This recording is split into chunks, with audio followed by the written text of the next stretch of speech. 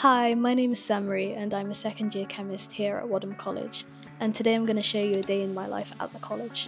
So I usually get up around 7.30 and grab some breakfast with my friends before heading off to lectures.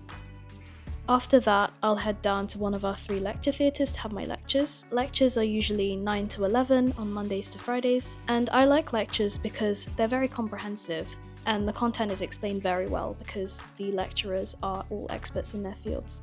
After that, I head down to labs on Mondays and Tuesdays. The labs are designed very well and they usually go off on what you've been learning in the lectures, and that makes them quite fun.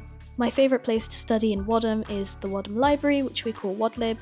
It's a really lovely space, and I really like that it's open 24 7.